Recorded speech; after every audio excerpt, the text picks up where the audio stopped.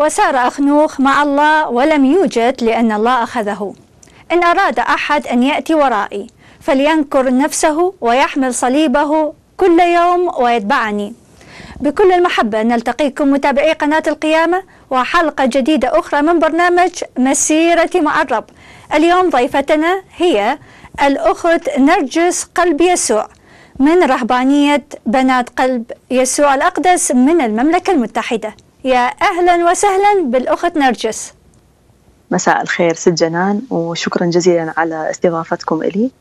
وربنا يبارككم من أجل الرسالة اللي تقومون بها في قناة القيامة من أجل أنه تنمون الروح المسيحية عند جميع مشاهدينا في كل العالم. أنا في المملكة المتحدة من اثنين تموز. من أجل سببين. السبب الأول أنه أعمل كورس للغة الإنجليزية لمدة شهرين. وفي ذات الوقت يكون عندي إرسالية في كنيستنا للجالية اللي موجودة في المملكة المتحدة بشكل خاص في لندن. كنيسة مار يوسف؟ كنيسة مار يوسف نعم. إرسالية مار يوسف. نعم, نعم. الخدمة اللي تتقدميها هناك ما هي بالتحديد؟ بشكل عام قبل كل شيء حضوري بين المؤمنين م. ومشاركتي معهم في الذبيحة الإلهية وأيضا في نشاطات للخورنة مثلا تعليم المسيحي للأعمار من سبعة إلى 14 سنة وأيضا تدريب وإرشاد الجوق وتعليمهم بعض الترانيم الجديدة. وأيضا مشاركتي في عمل لقاءات صلاة ولقاءات ثقافية لأخوية النساء. وأي شيء آخر ممكن يكون كإرشاد أو يكون مرافقة أشخاص هذا هو رسالتي هذه. هي جو إرسالية مار يوسف الموجودة في المملكة المتحدة. شلون تشوفية؟ آه بالحقيقة إرسالية المملكة المتحدة حسب الخبرة اللي أني في أول, أول مرة أكون موجودة معهم آه أشوف أنه آه الإرسالية هي فعالة جدا في هذا المكان. وأكو علاقات طيبة جدا بين العوائل بين الأشخاص. وأكو روح مسيحية حقيقة بالرغم من أنه الأولاد بعض من عندهم ولادتهم في لندن لكن يمتلئ قلبي فرح لما أشوف اليوم هم يقدرون أنهم يرتلون يقرون ويكونون شمامسة باللغة الكلدانية باللغة بلغتنا الأم وبالرغم من أنهم ما يعرفون ممكن يحكون سورة لكن هذا كثير مفرح إنه واحد يشوفه الحياة اللي يعيشوها هي حياة قريبة من بعضهم البعض. واحد يسند الثاني وهذا مهم بالنسبة لجاليتنا خارج العراق بشكل خاص. أخت نرجس حاليا تدرسين كورس باللغة الإنجليزية. شلون هالدراسة؟ نعم الدراسة هي مثل أي دراسة تحتاج وقت تتطلب جهد ولهذا يعني أنا بالحقيقة أكرس وقتي من أجل تعلم هذه اللغة لأنه هي لغة مهمة أنه تساعد على تواصلنا مع الأشخاص إذا كان خارج العراق أو من داخل العراق نعم هل حضرتك أخت مكرسة نذور نهائي وكم سنة لديك في هذه الرهبنة؟ نعم أنا أخت ناذرة النذر الدائمي. دخولي للرهبنة كان في 2006 ولهذا حاليا أنا عندي 15 سنة بالدير. لماذا اختاريتي هالرهبنة بالذات؟ بنات قلب يسوع الأقدس. أكيد مثل ما حضرتك تعرفين أنه الدعوات مختلفة. ومثل ما يقول مار بولس الروح يهب حيث يشاء. ولهذا روح الرهبانية روح رهبانية قلب يسوع الأقدس هي روح البساطة روح عيش الإنجيل روح القرب من الآخرين أيضا. فهذا كان أحد البذور الأولى اللي ساعدتني أنه أنا أختار هذه الرهبانية وأنه أعيش بين هذه الجماعة. شعار رهبانية بنات قلب يسوع الأقدس. ما هو؟ نحتاج توضيح. شعار رهبانيتنا مثل ما هو واضح من الاسم رهبانية قلب يسوع الأقدس. ولهذا العبارة اللي هي أكثر قريبة من قلب يسوع في, في الإنجيل هي تعلموا مني فإني وديع ومتواضع القلب ولهذا رهبانيتنا اتخذت من هذه الآية من الإنجيل كشعار إلها. من أجل أن تجسد هذه البساطة هذا التواضع اللي يحمله قلب يسوع وأنه إحنا أيضا بدورنا نحمله للآخرين نعم. 15 سنة راهبة. خلال هاي 15 سنة حضرتك تتحاولين بقدر إمكانك تقدمين خدمات لأبنائنا المؤمنين. أريد توضيح عن هذه الآية من إشعيا لأني أنا الرب إلهك الممسك بيمينك القائل لك لا تخف أنا أعينك. نعم. حقيقة آه، هي آية رائعة من من الكتاب المقدس. وبها حضرتك رجعتيني إلى قبل ما أدخل إلى الدير. لأنه تاريخ حياتي وإن كان بسيط. لكن هو مملوء من حضور ربنا. وحقيقة في كل خطوة من حياتي من كنت صغيرة وإلى اليوم أشعر بأنه الله دا يسندني الله وياي. حقيقة أنا في ولدت في عائلة مؤمنة. والدتي ووالدي علمونا أنه إحنا نروح للكنيسة دائما. علمونا أنه نستقي الإيمان من ربنا ونستقي الإيمان من الكنيسة من جذورنا. مع ثلاث أخوات وأخين إحنا ستة بالعائلة. ما شاء الله. كنا شكرا. كنا دائما نروح للكنيسة للتعليم المسيحي للأخويات بالشمامسة. دورات الشمامسة بالصيف لما ما كان يكون عندنا دوام بالمدرسة. ولهذا كانت مسيرة ربنا وياي من البداية. أنه هو يهيئني إلى رسالة. ممكن لما كنت صغيرة ما كانت واضح واضحة بالنسبة إلي. الطريق ما كان كثير واضح. كان بالنسبة إلي أنه أنا أبقى بالكنيسة. فكرتي كانت بسيطة. فكرة طفل ممكن فكرة شابة. لكن ما كنت آه، أتصور أو أفكر في أنه أنا أكون راهبة في يوم من الأيام. نعم. إلى غاية أنه إحنا تحولنا من آه، الرصافة إلى الكرخ في بغداد أنا ولادتي في بغداد. آه، تعرفت على أخواتنا. وهناك البذرة نمت أكثر. بدأت تتوضح رؤية ربنا في حياتي. ولهذا انتمائي للرهبنة ومسيرتي في هذه الرهبنة. حقيقة شعرت وإلى هاليوم أشعر بهذا أنه إيد ربنا آه، ترافقني في كل حين. آه، وفي كل خطوة أنا أقوم بها وإلى هاليوم أشعر إنه هو ما تركني وما راح يتركني ابدا. آمين أكيد. أخت نرجس قلتي تعرفتي على الأخوات. أين؟ تعرفت على الأخوات في بغداد؟ آه، كان كانت أخواتنا آه، في بغداد يعملون في كنيسة مار يعقوب في الدورة منطقة الدورة وأيضا في كنيسة الرسولين. لكن آه، حسب الرقعة الجغرافية لبيتنا كنا قريبين على كنيسة مار يعقوب اسقف نصيبين. نعم. اللي كان راعي الخورنة الله يذكره بالخير أبونا سالم. ومن بعده سيدنا سعد حاليا كان راعي الخورنة في وقتها. وهناك تعرفت على أخواتنا. الدعوة. شلون حسيتي بيها؟ حقيقة لما نقول كلمة دعوة آه، يعني هي كلمة كثير كثير واسعة. لكن في عمق كيان الشخص لما يشعر ب بصوت ربنا ما راح يقدر يجاوب غير نعم. لأنه الصوت هو أقوى بكثير من اللي أنا دا أفكر به. أو أيضا أكثر من اللي أنا ممكن مخططته لحياتي. فكنت أنا آه، عضوة في الجوقة في كنيسة مار يعقوب. وأحد أخواتنا خافي سمر. الله يذكرها بالخير. كانت مسؤولة الجوق أكيد.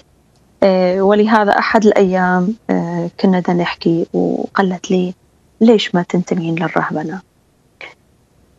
هذه الكلمة كانت هي بذرة أنه ربنا من خلالها دعاني أنه أنا أبدي أشوف اختيار مختلف بالحياة ما اختبرته سابقا ومن هذاك الوقت بديت أنه أفكر وأيضا بالصلاة وبمرافقة أخواتنا وأيضا بإرشاد عائلتي آه، أنه أفكر أنه أنتمي إلى الرهبنة العائلة بالأصل من وين؟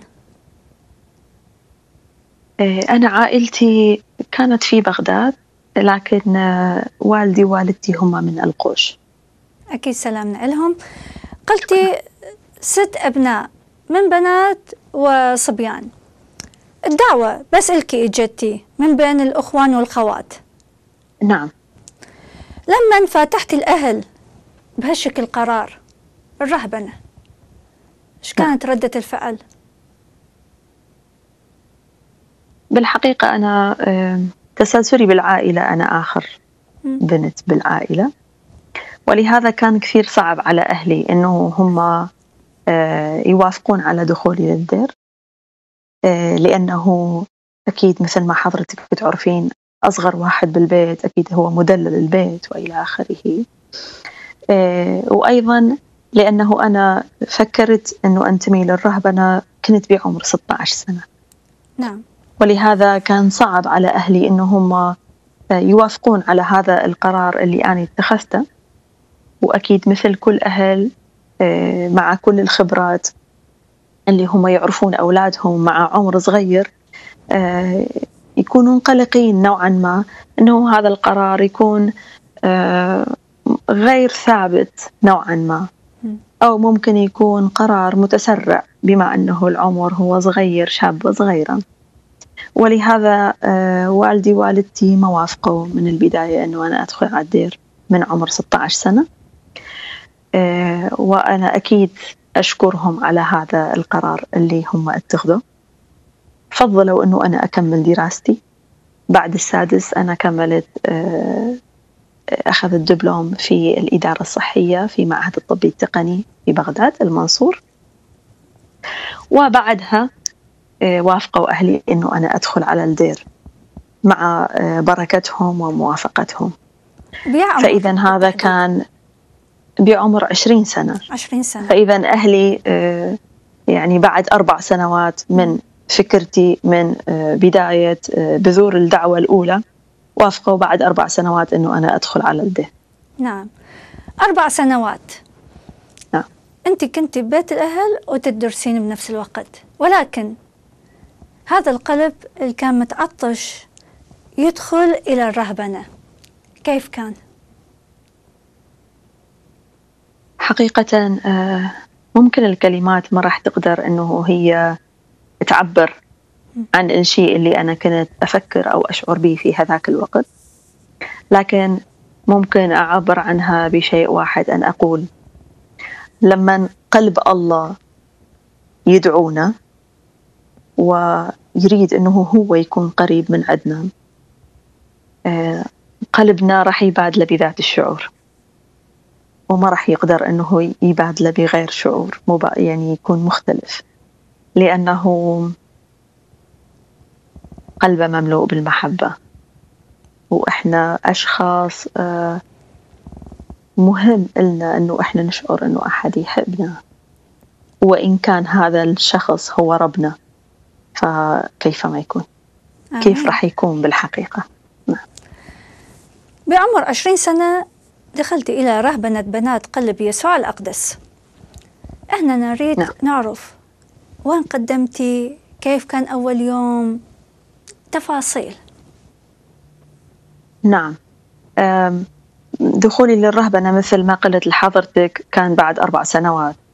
ولهذا معرفتي بأخواتنا في الرهبانية كان كثير آه، أعمق لأنه خبرة أربع سنوات مرافقتهم وأكيد بين فترة وفترة كنت أروح أزور الأخوات حتى أتعرف أكثر على الرهبانية.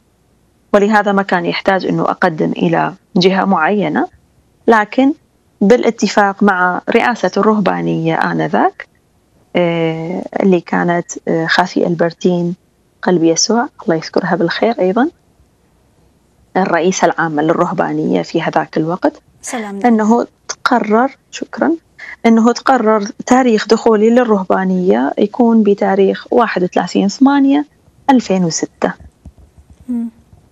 نعم. ومن هذاك التاريخ أنا كنت في بغداد لكن بعدها آه، انتقلت إلى الموصل.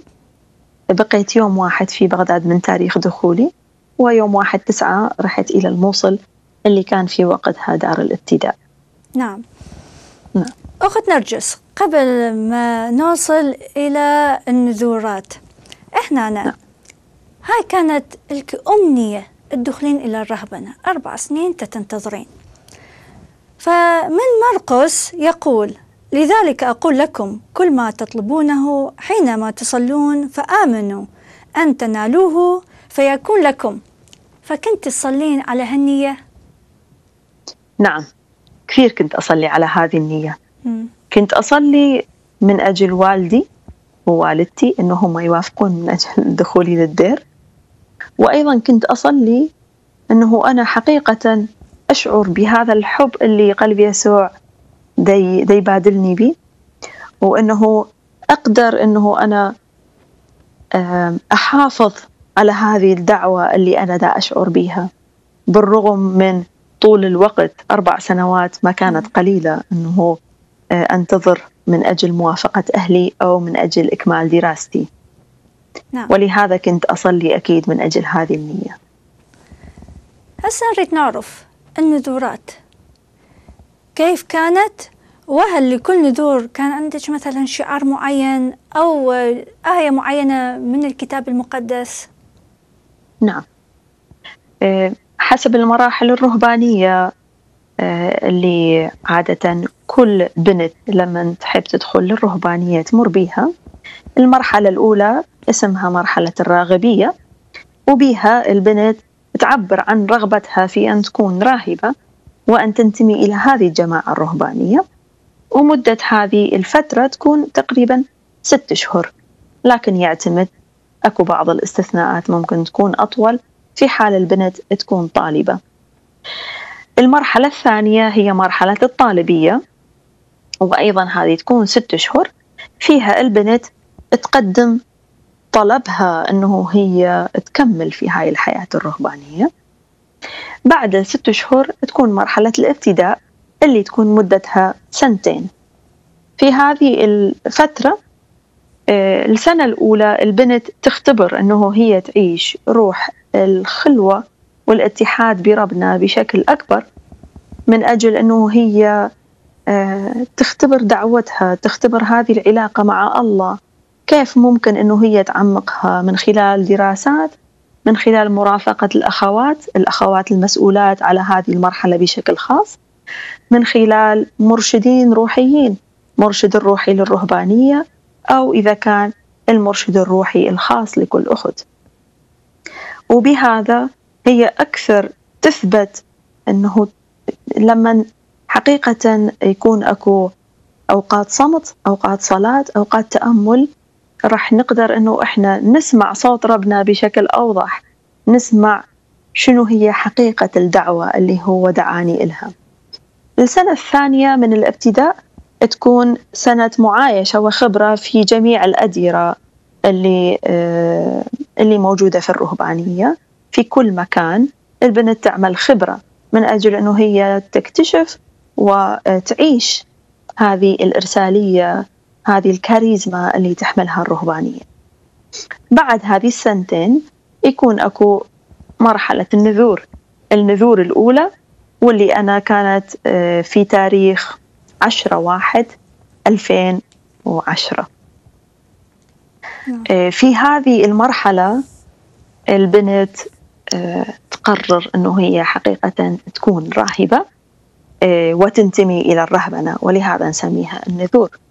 ويكون عندنا نذر ثلاث مشورات إنجيلية اللي هي الفقر والطاعة والعفة. آه، في هذه المرحلة عادة الأخت تختار آية من الإنجيل أو من الكتاب المقدس تتخذها شعار لحياتها. تحاول أنه هي تجسد هذه الآية في مسيرتها. آه، فبالنسبة لي الآية الإنجيلية اللي أنا اختاريتها في مرحلة النذور كانت اختارت مريم النصيب الأفضل ولن ينزعه أحد منها من إنجيل لوقا. لماذا اختاريتي هالآية بالتحديد؟ أكيد هذا يكون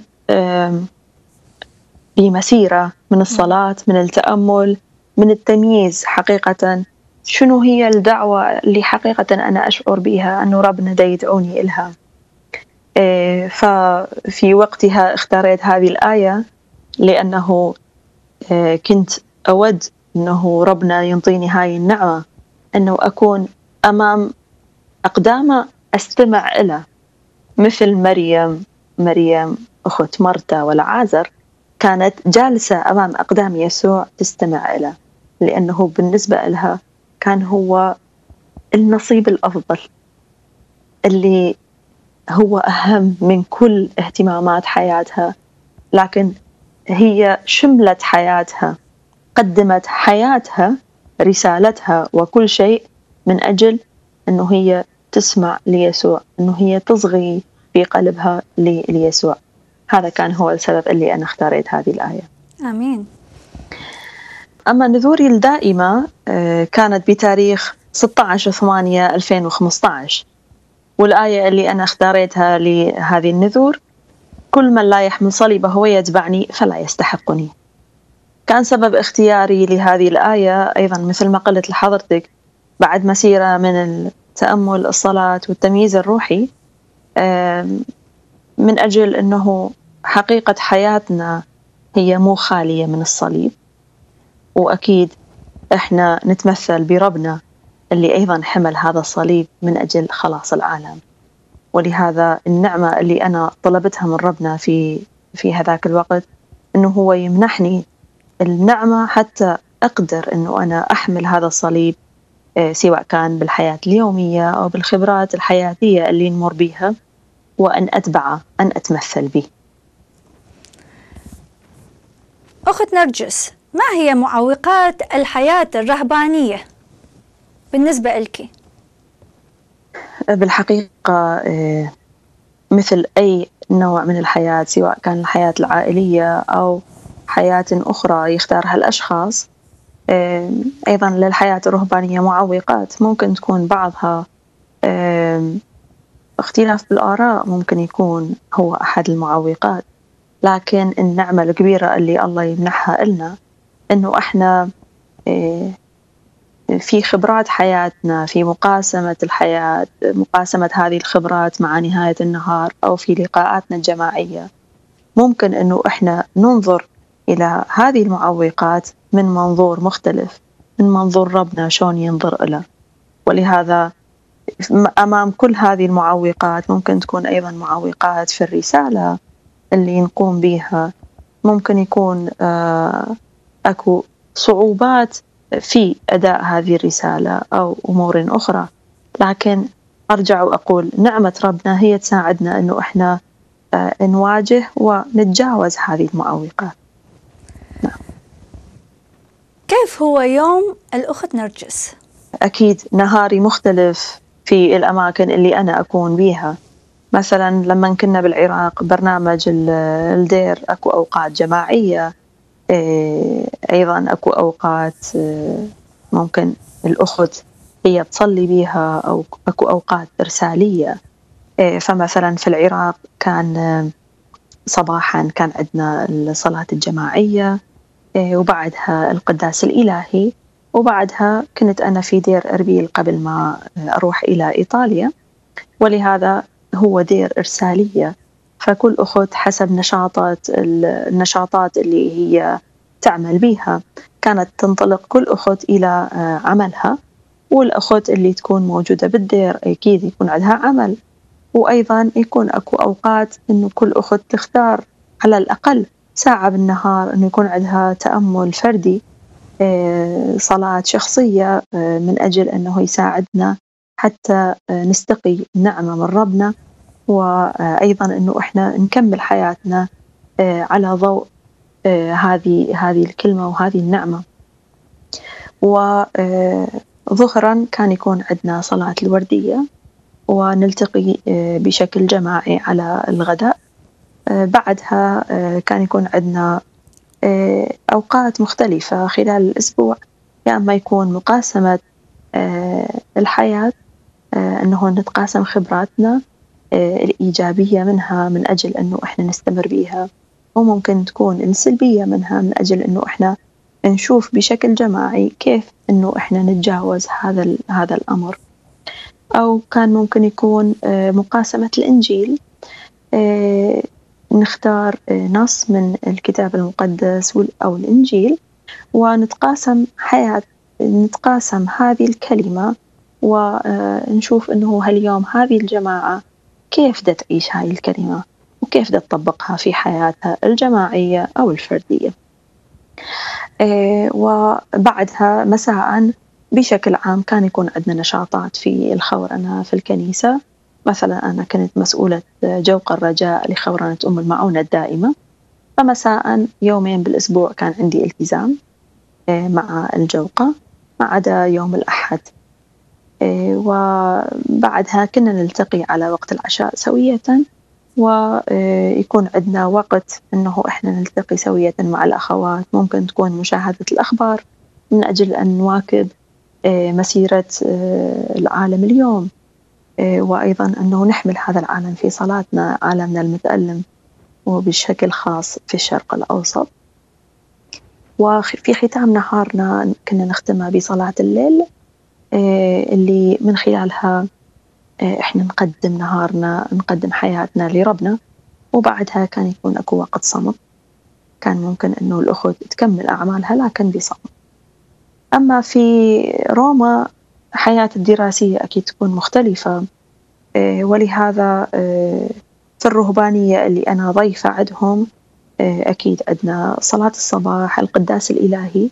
من بعدها كنت أروح للدوام اللي هو تقريبا يبدي الساعة ثمانية ونص صباحا بعض الأوقات لغاية الساعة ستة ونص مساء. وبعدها أكيد يعني كنت أعود للدير. ويكون عندنا صلاة المساء العشاء سوية.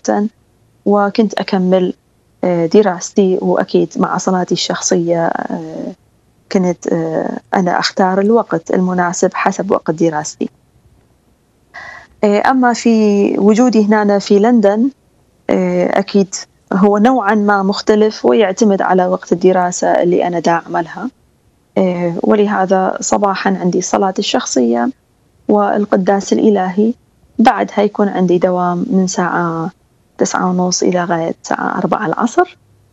آه، بعدها أعود للدير ويكون عندي التزامات مع الرهبات آه، صلاة آه، وأيضا التزامات الدراسة وإلى آخره.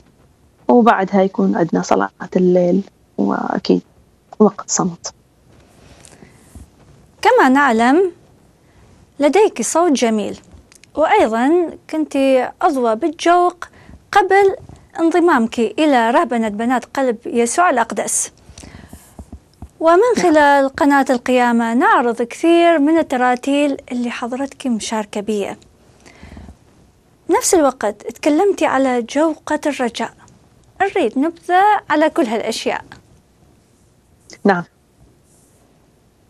أكيد قبل كل شيء أنا أشكر ربنا على النعمة اللي هو انطاها لي اللي هي نعمة الصوت واللي من خلالها من أنا صغيرة تنميت مثل ما حكيت لحضرتك إنه والدتي ووالدي علمونا إنه إحنا نكون بالكنيسة قريبين من ربنا.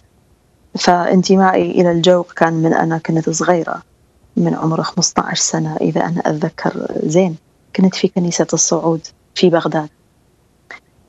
أكيد إيه، نعمة ربنا كانت محاطة من خلال الأشخاص اللي أنا التقيت بهم من خلال الأشخاص اللي رافقوني. أذكر بشكل خاص أبونا جميل نيسان راعي الخورنة آنذاك وأبونا زيد اللي كان شماس في الكنيسة وكثير أشخاص من الشمامسة اللي كانوا حقيقة عندهم الرغبة أنهم ينقلون هاي الخبرة الحياتية وأيضا آه، خبرتهم في آه، تعلم اللغة الكلدانية وفي آه، في الشمامسة أنه ينقلوها لنا إحنا الأجيال اللي دا تقوم. وأيضا أذكر أبونا أمير قمو آه الله يذكره بالخير كان مسؤول الجوق لما أنا كنت عضوة في الجوق. آه وحقيقة عشت خبرات كثير حلوة كثير تساعد أنه الشخص ينمو في كنيسة الصعود. نعم. بعدها أيضا آه، لما رحنا لمنطقة الدورة في الجوق كنت أنا في جوق آه، كنيسة مار يعقوب. آه، بعد انتمائي للرهبانية آه، مثل ما حكيت لحضرتك بعض المراحل الرهبانية ما نقدر أنه إحنا يكون عندنا نشاطات بالكنيسة بسبب أنه إحنا يكون عندنا أكثر أوقات للتأمل وللصلاة.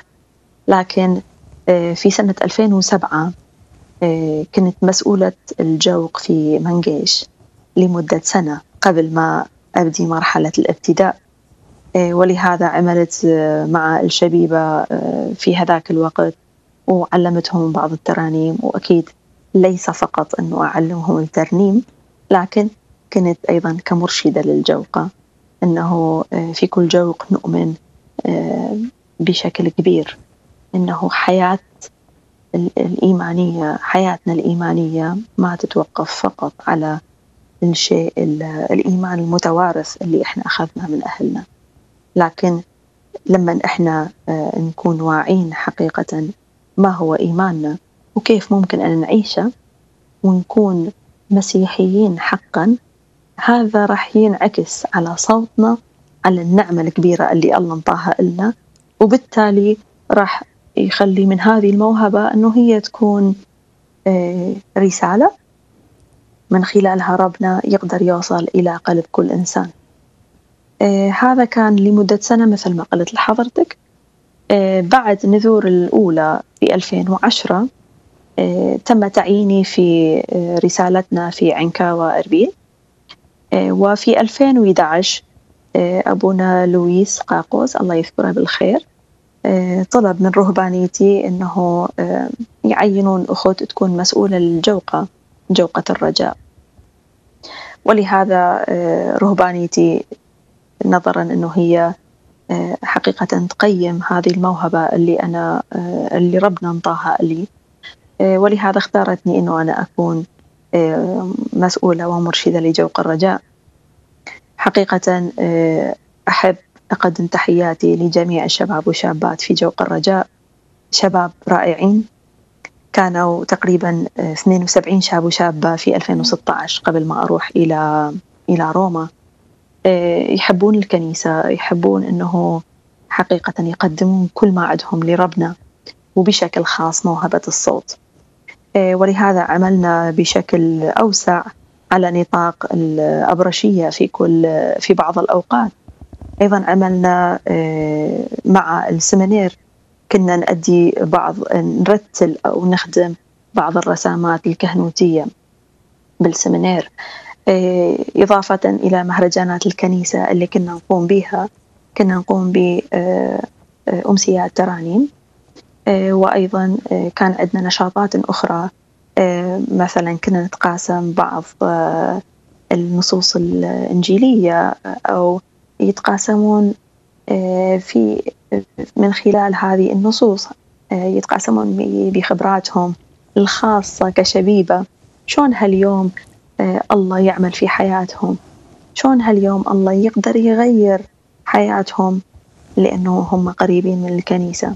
وكان أكو خبرات حية خبرات مثمرة حقيقة عاشوها. إضافة إلى المخيمات اللي كنا نعملها. كنا نعمل رياضات روحية أيضا. من أجل أنه ينمي آه، الروح في داخلهم آه، مثل ما قلت لحضرتك آه، أنه الروحية كثير عنصر مهم للمرنم. نعم. يتم عرض على شاشة قناة القيامة ترتيلة مشتاقين من لبة بصوت سيادة المطران بشار وردة جزيل الاحترام. نسمع جزء من عدها وبعدين نحتاج توضيح من الأخت نرجس متى كانت هذه الترتيلة وكيف.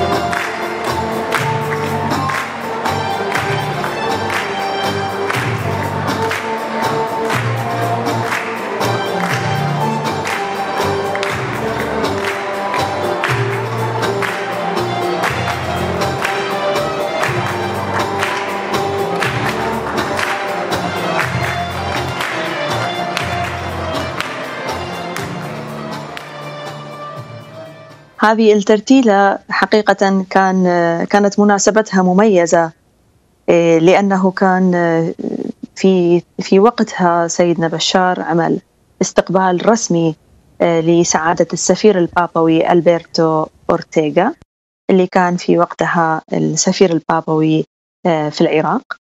ولهذا بمناسبة تعيينه كسفير للعراق جديد استقبلها سيادة المطران مار بشار متي وردة تحياتنا له إيه، وحب أنه يكون أكو مشاركة من جميع جوقات الإبارشية.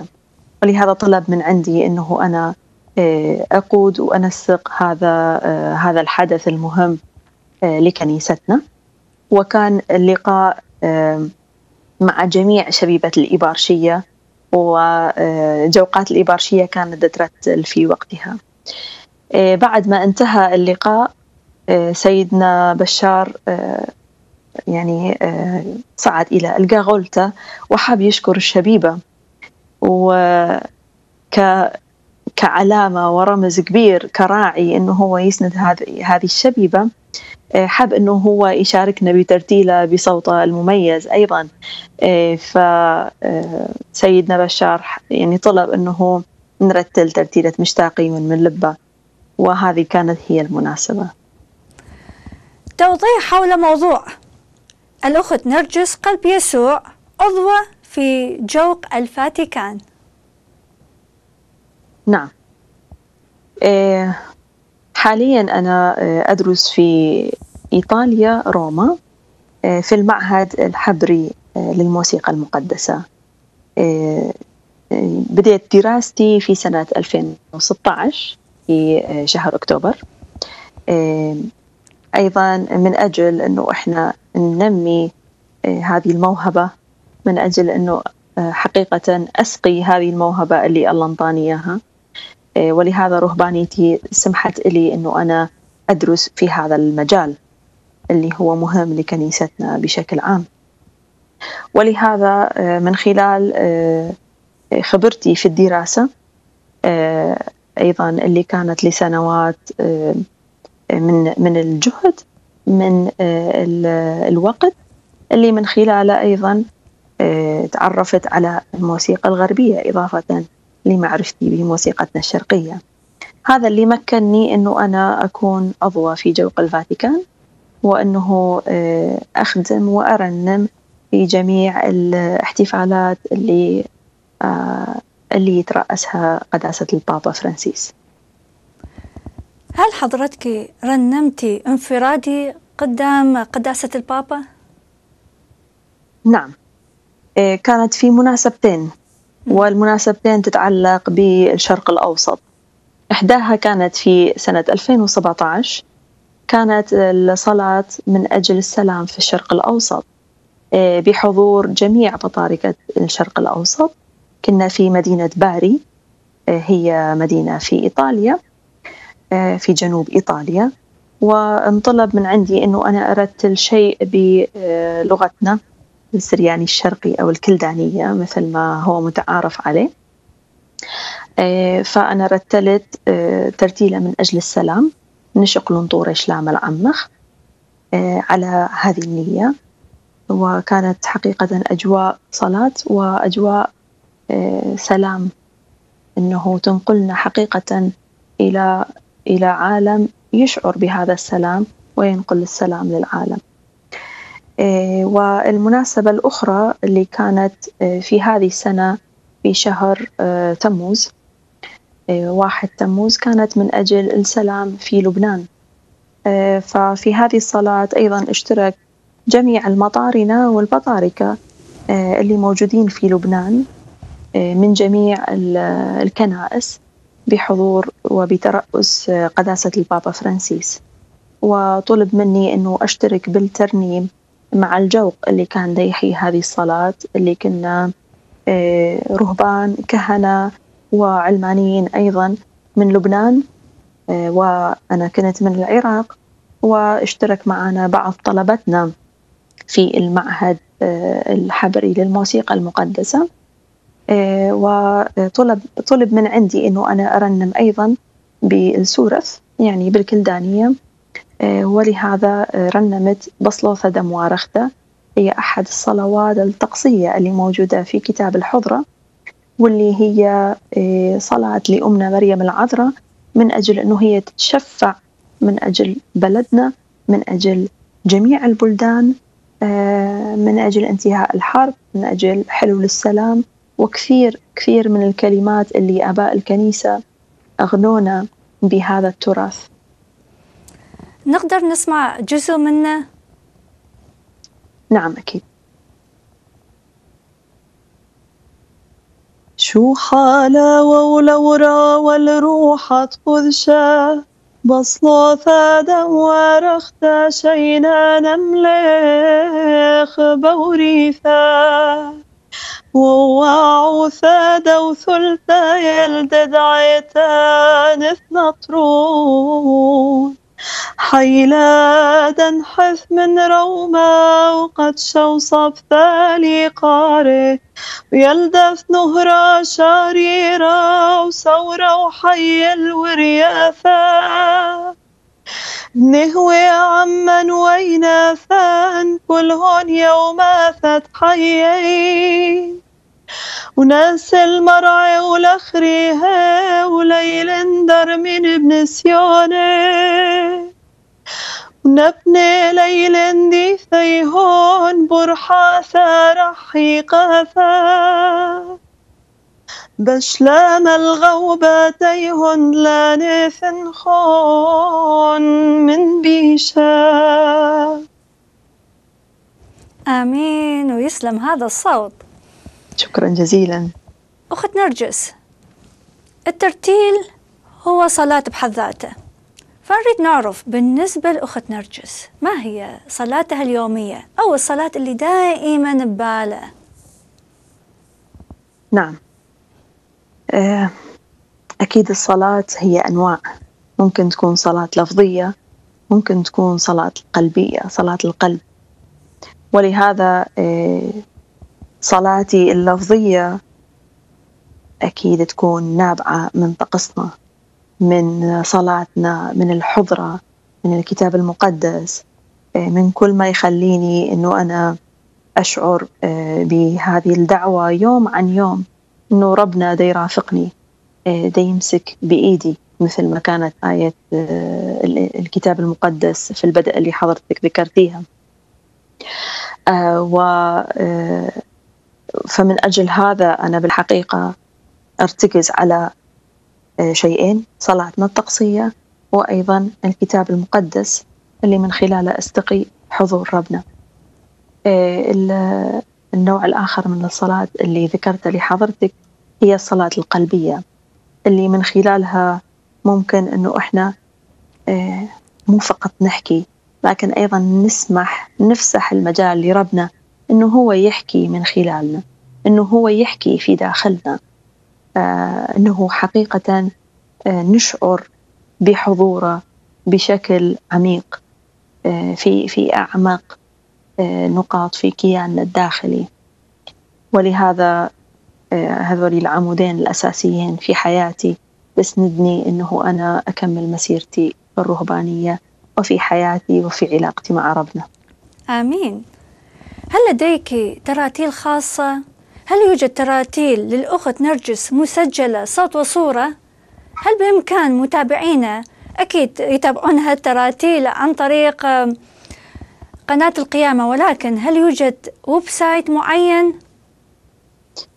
آه نعم بعض الترانيم آه اللي مسجلتها كانت أحدها ترتيلة أوغنانا اللي سجلتها في سنة 2010 بالتعاون مع المعهد الكهنوتي السمينير اللي كان آنذاك مسؤولة أبونا فادي ليون ربنا يذكره بالخير. فبالتعاون معهم رتلنا هذه الترتيلة اللي هي ترتيلة لعيد القيامة. هي ترتيلة من تراثنا. وأيضا عندنا بعض الأعمال اللي عملتها مع جوقة الرجاء لخورنة أم المعونة الدائمة. واللي البعض من عندها موجود في اليوتيوب تحت اسم جوقة الرجاء. وأيضا مؤخرا قبل ما أترك العراق سجلنا بالتعاون مع أستاذ رائد جورج تحياتنا له بعض الترانيم اللي هي من تأليف وألحان وبعضها من ترجمة ترجمة مؤسس رهبانيتنا. الأب عبد الأحد رئيس. كان عنده موروث من الألحان اللي كانت مثل ما قلت بعضها من تأليفه وألحانه والبعض الآخر كانت ترجمة عن الفرنسية. ولهذا الرهبانية يعني إحياء لهذا التراث وأيضا المحافظة للمحافظة عليه فكرت أنه تتعاون مع أستاذ رائد جورج أنه نسجل سيدي لهاي لبعض من هذه الترانيم ولهذا سجلنا تقريبا كانت ثمان تراتيل لمؤسسنا والبعض من عدها موجودة على اليوتيوب أيضا. مثلا تشبحت خثته شمية كبلة قوقلولة. اللي الأداء الفردي لهذه التراتيل أنا دا أدي والأداء الجماعي هو لأخواتنا في الرهبانية. كلها بالكلداني؟ نعم نعم نريد وجهة نظرك لماذا قلت الدعوات الرهبانية حاليا بهالزمن؟ تعتقدين قلت؟ نعم الدعوات الرهبانية قلت في أيامنا الحالية ليس فقط في العراق لكن أيضا في جميع الع... في كل العالم وفي كل الرهبانيات أقدر أقدم يعني بعض الأسباب اللي ممكن تكون سبب في قلة الدعوات الرهبانية في العراق اللي هي الحروب اللي مر بها العراق وإلى اليوم وبشكل خاص من 1991 بدأت عوائلنا تهاجر وبشكل واضح جدا إلى خارج العراق بسبب الأوضاع الأمنية غير المستقرة. ولهذا صار صعب بالنسبة للبنت أنه هي تقرر أن تنتمي للرهبانية بينما أهلها دا يفكرون أنه هم يهاجرون ويغادرون البلد. بما أنه حاليا البنت قبل ما تدخل الدير ما هي كثير قوية في هذا الاختيار ما هي كثير ثابتة ولهذا صعب عليها أنه هي تختار. ممكن أحد الأسباب تكون شهادتنا للعالم اللي ممكن نعطيها بشكل هاليوم شاباتنا وشبابنا يفهمون هذه الشهادة وحقيقة يكتشفون شنو هو المختلف في حياتنا عن الحياة اللي هم دا يعيشوها. إيه الشيء الآخر اللي ممكن أقوله سواء كان خارج العراق أو داخله إيه مجالات الحياة المختلفة إيه اللي هاليوم واضحة هي ومتوفرة عند كل الشباب والشابات. إيه واللي هاليوم ممكن تكون صعب بالنسبة لهم أنه أمام كل الاختيارات الجميلة اللي الحياة تقدمها لنا إحنا نختار نوع مختلف من الحياة اللي بيه إحنا نتجرد من بعض الأمور نتجرد في بعض الأوقات أيضا من آرائنا أو ممكن أنه إحنا يكون عندنا نظام محدد. هذا النظام أنه نحب أنه إحنا نسير عليه بحرية كبيرة. لكن يبقى السؤال هو لما رب ربنا يدعو حقيقة هذه الدعوة راح تكون مثل بعض بعض الآباء الروحي الروحيين اللي يقولون ربنا يستوقفنا. من أجمل ذكرياتك في الرهبنة؟ رهبنة بنات قلب يسوع الأقدس. ما هي؟ بالحقيقة عندي كثير خبرات جميلة في الرهبانية لكن أذكر بشكل خاص اللي كثير كانت مميزة وإلى هاليوم هي حاضرة في ذاكرتي وفي قلبي. أهمها كان يوم دخولي للدير سنة 2006 بشهر 31 8 2006 وأيضا تاريخ نذوري الأولى اللي كانت واحد عشرة ألفين وعشرة وتاريخ نذوري الدائمة في يوم ستة عشر ثمانية ألفين وخمسة عشر هذه الذكريات هي حاضرة اليوم معايا. ولهذا حقيقة من خلالها أنظر إلى النعمة الكبيرة والمحبة الكبيرة اللي الله يحملها. وحملها من البدء. إلي. من المزارات اللي زرتيها وهالشكل كان عندها وقع كبير. يمكي وهل يوجد مزار بالك تريدين تزوريه؟ نعم وإن ما كانت زياراتي كثير للمزارات اللي أنا رحت لها لكن المكان اللي حقيقة ترك أثر في داخلي إلى اليوم هي زيارتي إلى لورد. عذراء لورد الظهور ظهور المريمي هناك. هذاك الحضور حقيقة لمس داخلي و ترك أثر إلى هاليوم. المكان الآخر اللي حقيقة كانت نعمة كبيرة لكل الرهبانية. كان زيارتنا للأماكن المقدسة الرهبانية بشكل عام. زرنا الأماكن المقدسة بمناسبة الذكرى المئوية لتأسيس الرهبنة.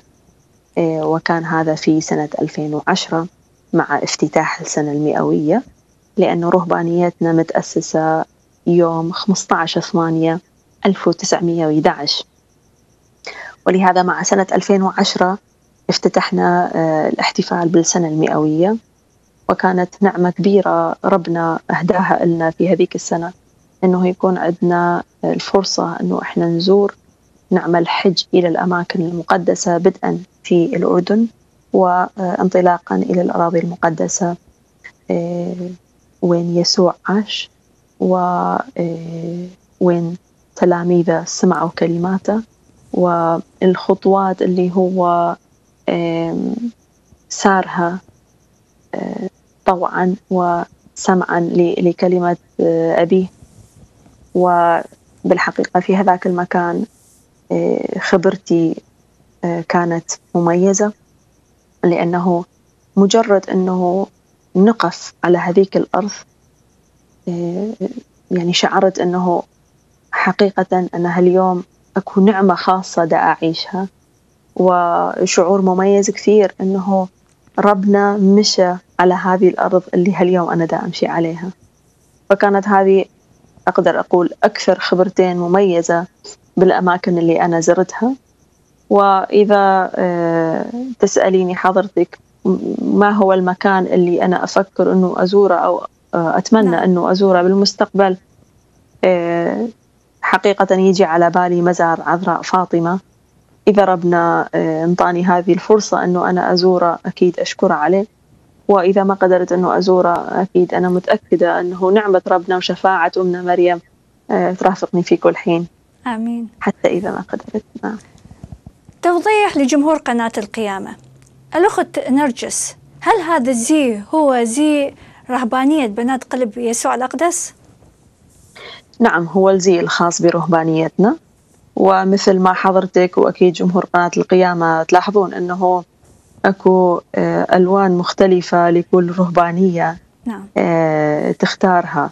اللون اللي اختارته الرهبانية كان سابقا آه، أخواتنا آه، الأوائل مع مؤسسنا كان اللون الأسود. لكن بعد المجمع الفاتيكاني الثاني وبعد القرارات الجديدة للتجديد في الكنيسة رهبانيتنا فكرت أنه هي تغير هذا اللون من الأسود إلى الرصاصي. لكن في كل الأحوال أي زي هو يعبر عن روحانية هذه الرهبانية وعن الهدف اللي من أجله هذه الرهبانية تأسست. وبما أنه رهبانيتي تأسست من أجل أن تكون في خدمة الكنيسة في خدمة آه، الناس. وأيضا في مساعدة آه، العوائل أنه هم يشوفون طريقهم وحقيقة شلون يعيشون هذه الحياة العائلية إضافة إلى نشاطاتنا بالخورنة. ولهذا اختارت اللون الرصاصي اللي هو لون العمال من أجل أنه إحنا نكون قريبين من الناس أنه إحنا نعمل معهم أنه إحنا نشعر أنه إحنا واحد من عندهم وهم أيضا يشعرون بهذا الشيء. أما بالنسبة لشعار رهبانيتي فهو يعبر عن النجمة البابلية آه، لأنه تأسيسنا هو في العراق. ولهذا إحنا الرهبنة عراقية الأصل. ولهذا رهبانيتي اختارت أنه يكون شعارنا النجمة البابلية. الشعوب اللي عاشت آلاف السنين في هذه الأرض وفي داخل هذه النجمة آه، يوجد قلب يسوع الأقدس اللي يعبر عن آه، اسم هذه الرهبانية وهويتها وأكيد النجمة تعبر عن الصليب الأحمر اللي موجود نعم. والشعاع اللي يخرج من هذا الصليب هو آه، الأنهر الأربعة مع بدء الخلقة واللي يعبر عن رسالة بنت القلب الأقدس هي موجهة إلى كل العالم بدون استثناء. أريد نقرب هالشخصية أكثر وأكثر لجمهور قناة القيامة. من هوايات الأخت نرجس؟ ما هي؟ آه نعم. آه، مثل ما حضرتك تعرفين دراستي هي الموسيقى. ومن من صغري آه، يعني آه، نميت على هذه هذه هذه الهواية. ولهذا بالنسبة لي نعمة الصوت هي اللي تغنيني دائما. إنه في كل الأوقات اللي أنا أشعر بها إنه بالحقيقة أنا بحاجة إنه أعمل شيء مختلف في نهاري آه، أرنم. آه، ولهذا هذا يخليني أكثر أكون قريبة آه، من ربنا. يخلي صلاتي يكون عندها معنى مختلف في حياتي. وأيضا من أحد هواياتي المفضلة هي القراءة المطالعة سواء كانت كتب روحية متعلقة بحياتنا الرهبانية وأيضا متعلقة بعلاقتي الشخصية مع ربنا أو كانت كتب عامة ثقافية وغيرها. حضرتك مرنمة وأيضا هي هاي أحد الهوايات الترنيم. ولكن هل تعزفين على آلة موسيقية معينة؟ نعم. من خلال دراستي في معهد الموسيقى اختصاصي هو قيادة الجوق وأيضا قيادة الأوركسترا. وبالتالي هذا كقائد يعني نحتاج إنه إحنا نتعلم كل شيء. نتعلم عزف على آلة نتعلم كيف إنه إحنا نساعد الجوق أن ينمون صوتهم. آه، نتعلم إنه إحنا كيف نقدر نألف موسيقيا آه، بعض الترانيم أو المقطوعات وإلى آخره وغيرها من من الدروس الأساسية اللي هي تاريخ الموسيقى وغيرها. آه، ولهذا أنا أعزف حاليا على آلة البيانو وآلة الأورغانو. نعم. طبعا تشرفنا بوجودك معنا الأخت نرجس قلب يسوع من رهبنة بنات قلب يسوع الأقدس من المملكة المتحدة. كلمة أخيرة لجمهور قناة القيامة. نعم. قبل كل شيء أنا أشكركم سجنان وأشكر قناة القيامة مرة ثانية على استضافتها لي. أشكر جميع جمهور قناة القيامة في كل العالم. وربنا يبارككم. ربنا يحفظ عوائلكم. ويجعل من هذه العائلة تكون على مثال عائلة الناصرة. ربنا يبارك جميع الكليروس كنيستنا بمسؤوليها وجميع المكرسين والمكرسات بالعالم وشكرا لجميعكم. شكرا جزيلا. الأخت نرجس قلب يسوع شكرا جزيلا. متابعي قناة القيامة شكرا لحسن المتابعة. نعمة ربنا يسوع المسيح ومحبة الله وشركة الروح القدس معكم جميعا. كونوا معنا بقوة الرب. الأسبوع القادم وحلقة أخرى مميزة من برنامج مسيرتي مع الرب.